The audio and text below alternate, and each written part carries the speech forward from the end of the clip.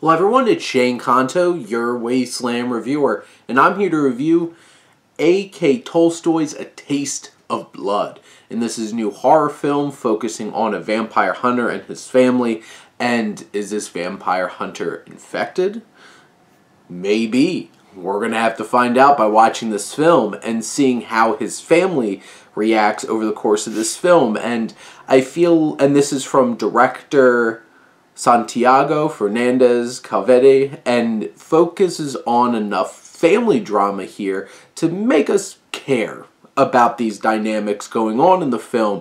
You have this younger couple, you have this hunter, and they're off in the woods, they're off into the wilderness.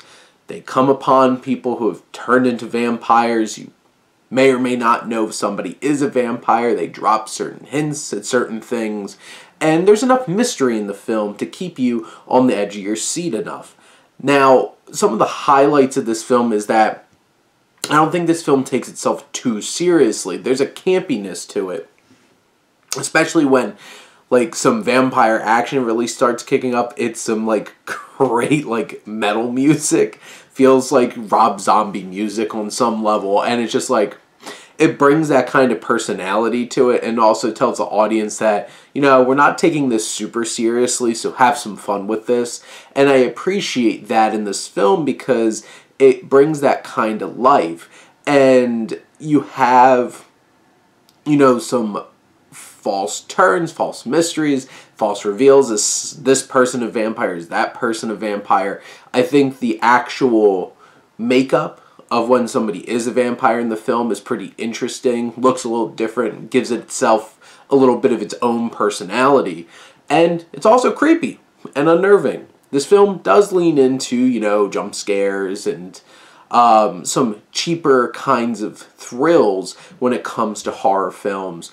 But in general, I feel like this is an a fun, decently campy, and enjoyable ride it has characters and the that have enough depth for us to care enough about them.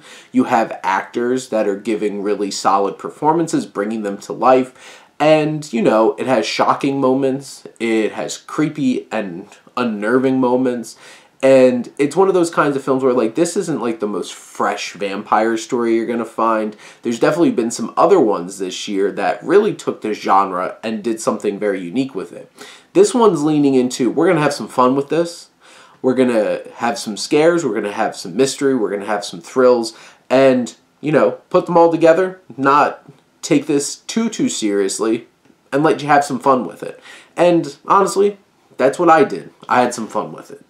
But those are my thoughts on A Taste of Blood. Let me know what you think, and let's talk some movies. But thank you as always for tuning in and supporting your Wasteland Reviewer.